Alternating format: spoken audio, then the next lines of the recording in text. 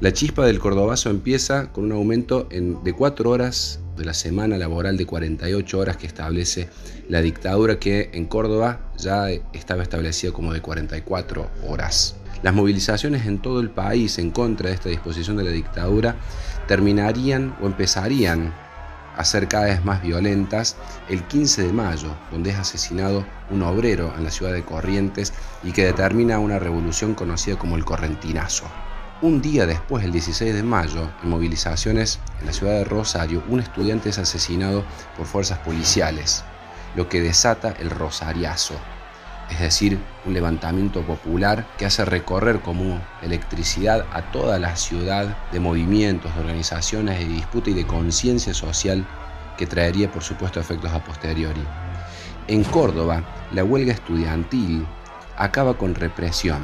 A medida que nos acercamos hacia el 29 y 30 de mayo, el foquismo cordobés se organiza en la toma de ciertas posiciones en la ciudad de Córdoba, básicamente en la ciudad universitaria y en el barrio Alberdi, para organizar una gran movilización popular. El inicio de esa movilización acaba con la policía el 29 de mayo asesinando a Máximo Mena, lo cual tiene un efecto absolutamente explosivo en la ciudad de Córdoba. En ese preciso instante, la movilización se duplica, se triplica en su cantidad por el apoyo espontáneo de decenas de miles de ciudadanos cordobeses que se solidarizan con la movilización y comprenden de que se trata de algo más importante que un reclamo sindical. La intervención del ejército faculta a las fuerzas militares al uso del fuego y también instituye un tribunal militar para la condena de los civiles implicados en la movilización. Por supuesto que el cordobazo en sí mismo termina con la derrota, digamos, por parte del ejército, que termina aplastando la movilización y termina enjuiciando ese tribunal militar a sus principales responsables y condenándolos hasta ocho años de prisión, como Agustín Tosco, gran referente de esa movilización.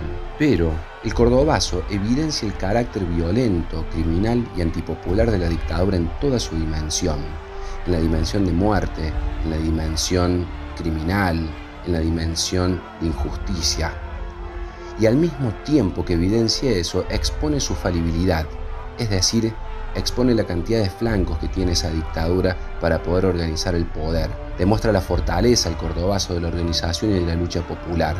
Mueve, por lo tanto, a la organización contra el enemigo común de las libertades y de los derechos en este país. Después del cordobazo, la organización popular entiende muy bien que debe organizarse, debe fortalecerse para despedir a la dictadura de una vez por todas, para organizar el regreso de Perón y también para la disputa por la representación popular en nuestro país. Al cordobazo se le debe todo eso, al cordobazo se le debe el retorno breve, pero retorno al fin de la democracia en nuestro país en 1973. Esa memoria, la memoria de esa lucha, la memoria del enfrentamiento popular por la democracia, por la justicia y por los derechos humanos quedará seguramente en la memoria durante mucho tiempo más.